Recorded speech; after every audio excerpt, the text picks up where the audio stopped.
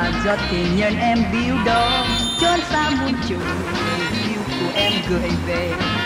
Cái trăm em cài là muôn tình thương nỗi nhớ. Nhớ nhớ người nhân tình thề trọn đời một lòng thương em. Cái trăm em cài bằng khi nào em đâu biết.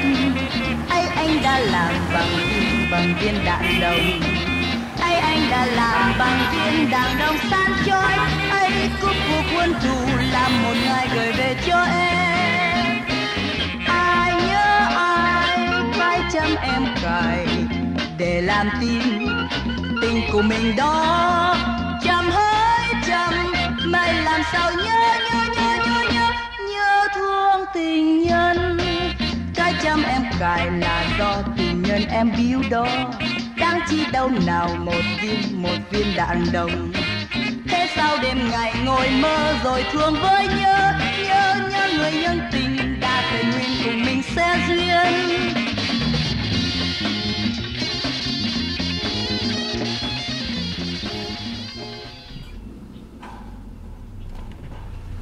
Ơi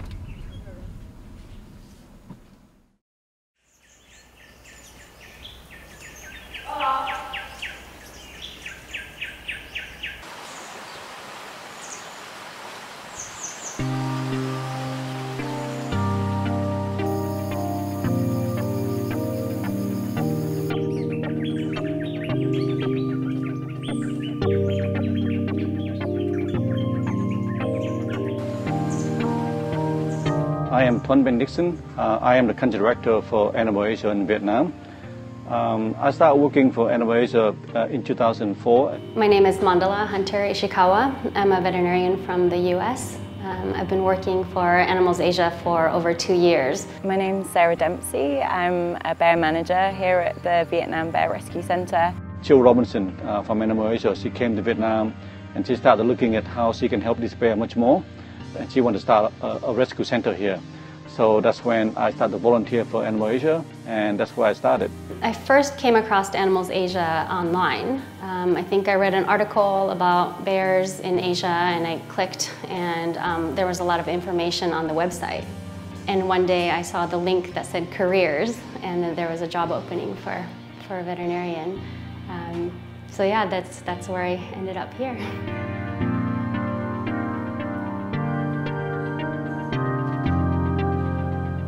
Was so happy when they accepted me to come and work with bears. To work with Animals Asia is truly an honor. It really is a dream job. I met Anne-Marie and Nicola from the China Centre at a conference that I was presenting at and saw some more videos from Animals Asia and spoke with them and just became a lot more aware of the overall work and the extent of the issues.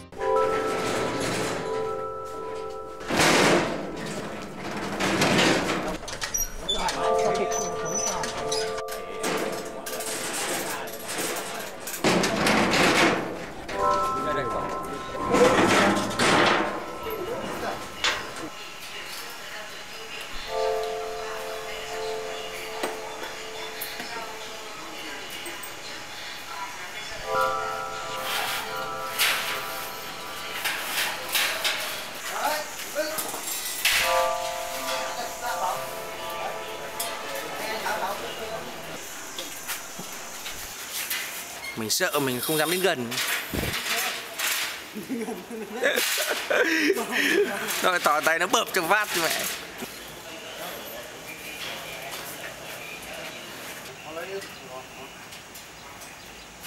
cái gheo đấy để làm gì anh? Bôi trơn à? À à.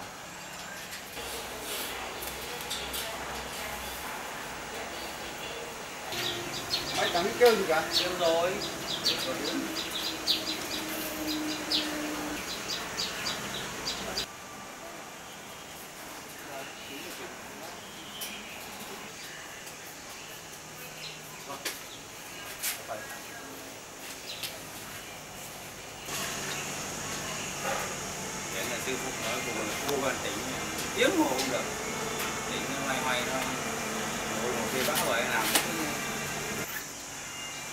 bơm khí vào để xong mình hút lại ngược ra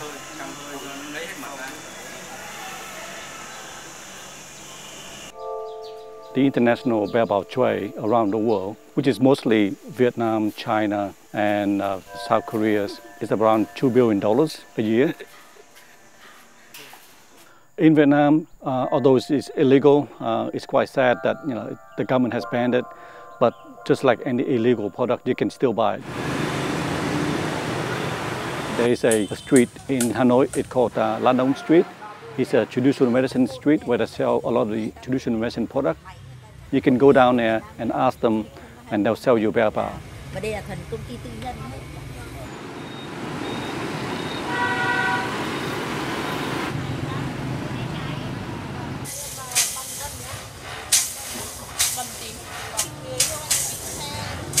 Bear biles in Vietnam has been uh, in use for, I would say, thousands of years. It's very much entrenched in the society using bear bile. It mainly used for reducing swellings or reducing heat. So uh, bear bile is regarded as a cold medicine. But these days, besides those kind of medical uses, the men in Vietnam, they mix the, the bile with the rice wine and they drink it. Mật như này là đạt chuẩn không Cái kia thì đến 70 cc. Thế à? A lot of the bao being produced now is not for traditional medicine anymore, but for this, you know, this what we call the recreational drugs. Này. Mình cứ chia đều một C, ông nào muốn lấy nhiều thì cứ ờ, bốc chừng đấy đúng không ạ? À.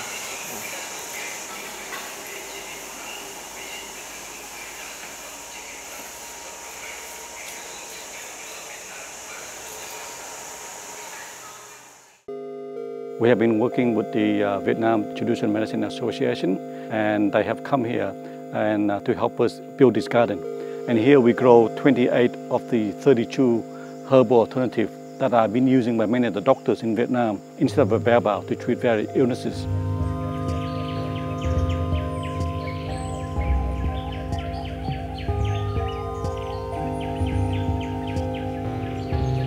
The herbal alternatives are in plentiful and they're cheap and they're natural and they're safe.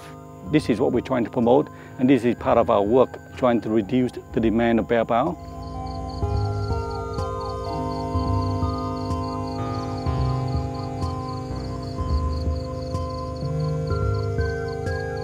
And at the moment there's 1,200 bears on bear farm in Vietnam. And if you want to end bear bile farming in Vietnam, you must remove all the bear from bear farm and put them into a safe place.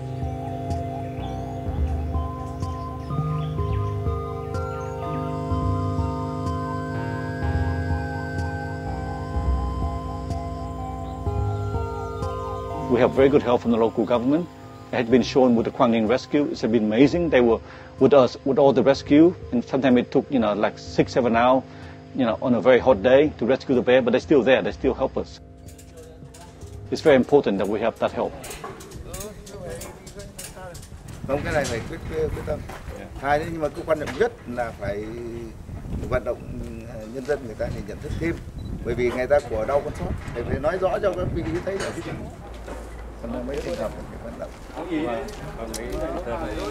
We try and keep it limited to as few people as possible for the rescues, um, and the vet team are the most important to be there because they usually need to give initial health checks and sometimes like GAs in the field for certain bears.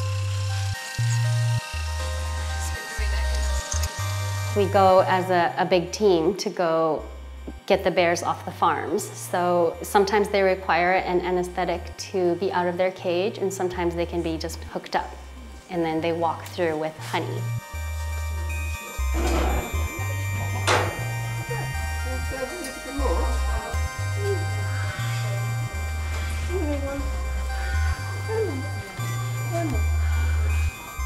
And then our BTS Tuan, who's one of our local staff who's been with us for a very long time and is very experienced with working the transport cages. He will go with a number of our team leaders as well.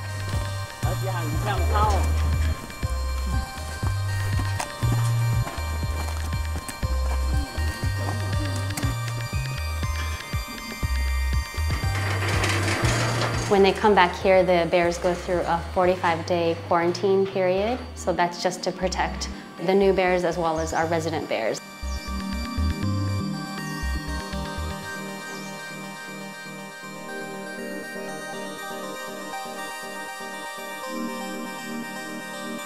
They do come in for a full health check. So we anesthetize the bears. We check every part of them that we can check.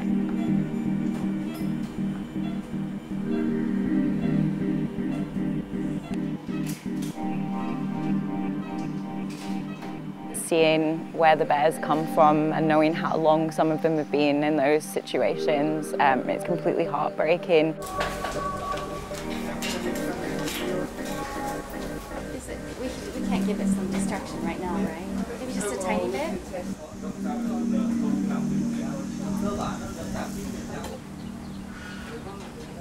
When they come to the center, they have broken teeth that are abscessing usually. Their teeth break because they didn't have a proper diet growing up, and they also, out of frustration, they bite the bars and they break the teeth.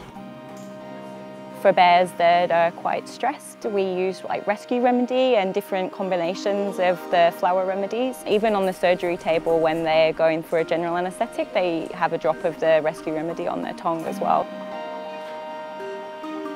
A lot of bears, because of the poor nutrition and the stress, they have cataracts or signs of um, high blood pressure. Some bears are actually blind. Because of the bile extraction process, they can also have bacteria in their gallbladder. They can have gallstones in their gallbladder that causes problems and inflammation and pain. Um, we also see arthritis in bears that are younger um, that probably shouldn't have arthritis yet because they've been in a small cage their whole lives without any ability to move around much.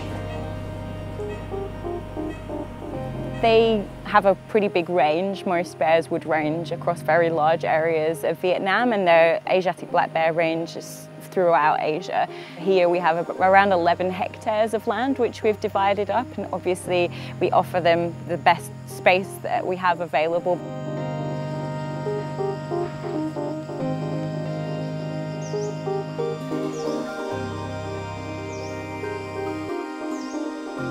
We do have bears that have been rescued um, that live at the sanctuary that are missing limbs. So they're missing either a front leg or a paw or part of their foot, or they have scars across their body. Um, and that's from being caught in the wild. For some bears, like the little cubs, it might seem easier because they've not been through the bile farms, but at the same time they've been taken from their mother so young, so unnaturally young, and that causes its own range of issues. One of the main things also is behavioral problems. So some of the bears have stereotypic disorders, so they'll do a certain motion over and over again for no reason other than to cope with the environment that they've had.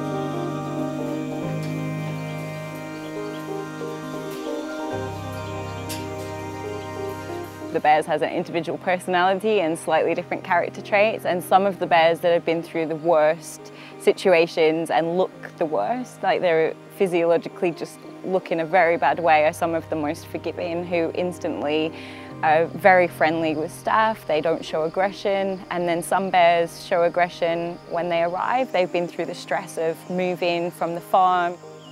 But they do usually over time, even within a few days of having really nice things, honey, apples, pears, you know, things that are nice all the time, and we never hurt the bears. So um, they do start trusting people. It's amazing. The nicest thing is you see that they do learn to trust people quite quickly, um, on the most part very quickly, which I think is a testament to them as animals and what we've put them through as people for them to be that accepting of us is, is incredible.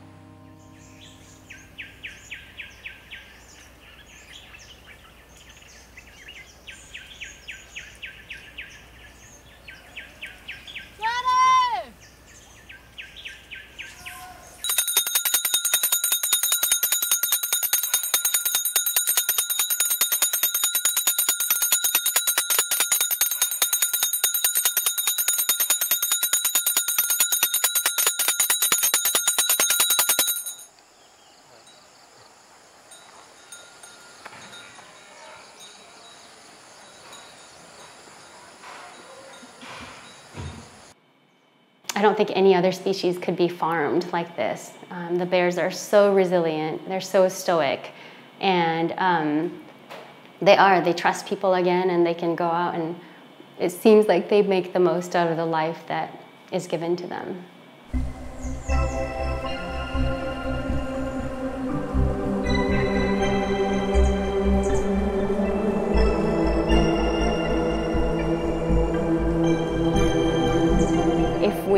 Wanted to release bears, then we simply don't have the programs or the protected habitat in place to do so. It's not to say that in the future we won't because we are working with different NGOs and universities to try and establish areas of land for that in the future.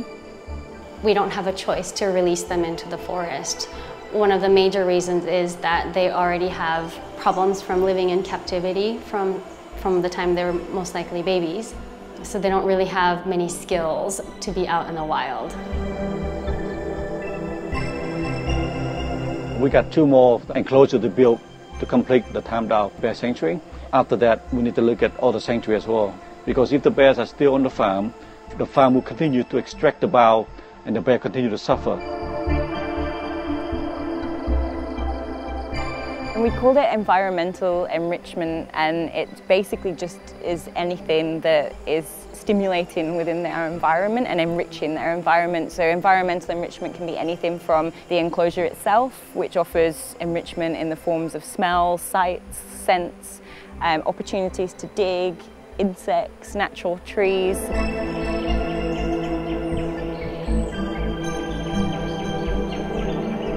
You can see that most of them have actually finished foraging for food and that's when it gets a little bit quieter. You get the odd individual that'll be playing. There's somebody playing with some browse over here. Quite a few bears playing on top of the platform.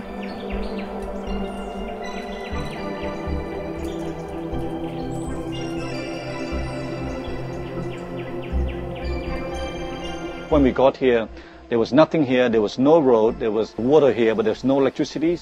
And we have to design the whole sanctuary and then try to recruit the staff to work here. Here we have um, just over 80 people, and uh, the majority of the people that work here are local people who live just around the, the Tam National Park.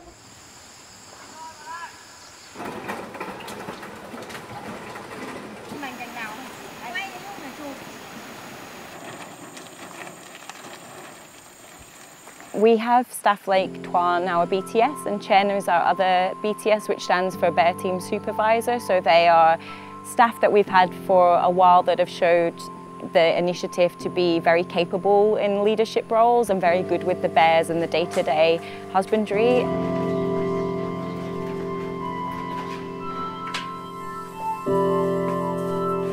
Through our training, now they become expert at it, and we also raise their awareness on the warfare as well. I think a lot of staff now really love bears and they love animals.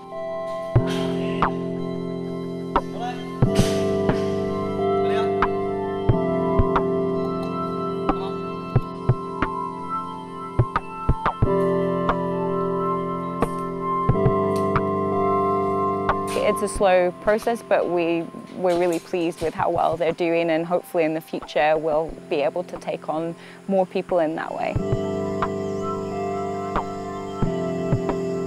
By having all these people work here, we're helping the local economy. And we also buy all the local food and vegetable for the bears from the local market. You know, bear eat, you know, five kilogram of food and veg, uh, vegetable every day. With 148 bears, that's a lot of food and vegetable that we buy every day.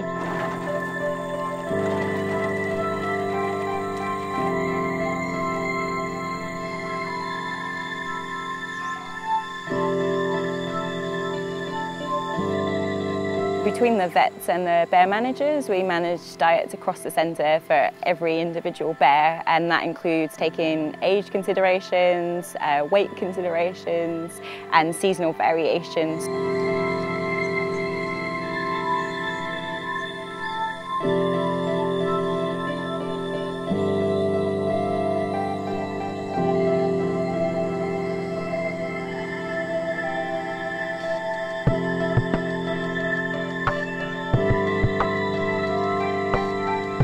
Besides, we have 148 bears to look after, to feed. Uh, we also have teams like the, the maintenance team to keep the sanctuary running. security team to keep the place safe. Sau thì anh tiếp quản ngay ngay cạnh Mỹ rồi. And of course, we have an education team to, you know, to educate the people. We definitely have a lot of local people come and visit and a lot of school groups, particularly from Hanoi and a little further afield. Um, and I definitely see like children up to university age seem to be the most concerned. A lot of the, the parents are the bile user. The, the children don't use the bile, they don't use the bile at all. So we need to convince you know, the parents, but I think the children can, can do it for us very, very, very well. They show a lot of compassion and I think um, it's with that generation to make the biggest change and they definitely seem like a generation that would be capable of that. It's very important for the, you know, for the single person to raise his or her voice about how they feel about the bear and how they can help the bears. There's also a lot of other issues that Animals Asia and other NGOs address too, um, like the cat and dog meat trade and also the critical endangerment of a number of different species. So if you are really interested in the work of Animals Asia and think what we're doing is a great thing, then please share it with everybody, whether it's on YouTube or Facebook or by email or just showing friends. What anybody can do is just donate a little bit of money every year and, and be a supporter when we have those many of these single you know person together it become a big force and we can help change. Please be aware that it, this is a multifactorial problem um, especially with wildlife trade. So do your best to learn more and spread the word.